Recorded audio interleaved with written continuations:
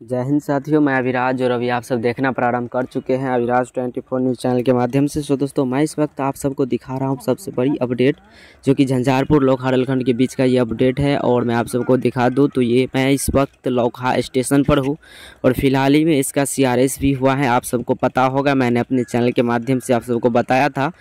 तो यहाँ पर देख सकते हैं, मैं आज आप सबको दिखाऊँगा कि किस प्रकार से यहाँ पर और कितना काम अभी और कितना हो चुका है तो आप सब अगर सबसे पहले चैनल पर नए हैं तो चैनल को फटाफट सब्सक्राइब कर लीजिएगा, वीडियो को लाइक कर दीजिए और अपने सभी दोस्तों में ज़्यादा से ज़्यादा शेयर करने का प्रयास कीजिए, ताकि सभी दोस्तों के पास ये जानकारी पहुँच सके। और वीडियो अच्छा लगे तो एक प्यारा सा कमेंट भी ज़रूर कर दीजिएगा, उस कमेंट बॉक्स में अपना नाम भी लिख ज़रूर बताएगा। और कहाँ से इस वीडियो को देख रहे हैं, कहाँ से वॉच कर रहे हैं, उस जगह का भी नाम कमेंट बॉक्स में ज़रूर बताइएगा और अपना नाम भी लिखकर ज़रूर बताइएगा ताकि मुझे भी एक प्रकार का मोटिवेट मिले और मैं आप सभी के लिए अधिक से अधिक इस फ़ील्ड में जानकारी देने का प्रयास करता रहूँ। तो चलिए मैं आप सबको अब दिखाता हूँ।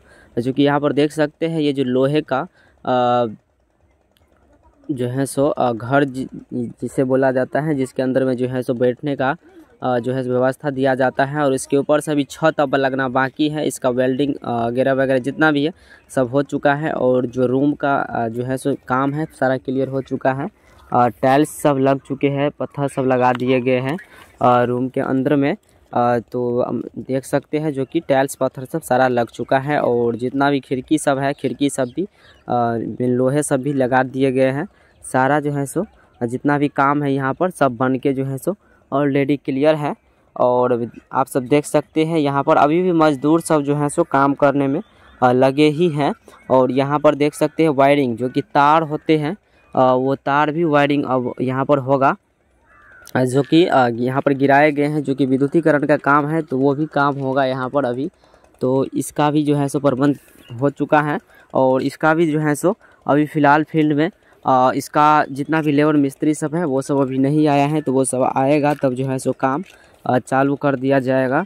आ, तो देख सकते हैं सामान फ़िलहाल तो गिर चुका है और मैं आप सबको बता दूँ यहाँ पर तीन तीन क्रॉसिंग लाइनें हैं जो कि मैंने आप सबको पहले भी बताया था और और आप सबको पता होना चाहिए कि इस रूट में जो है सो सत्ताईस तारीख तक जो है सो लगभग ट्रेन चालू करने की उम्मीद है। आप सब सत्ताईस तारीख तक जो है सो सफ़र कर पाएँगे। तो आप सब जो है सो देख सकते हैं यहाँ पर।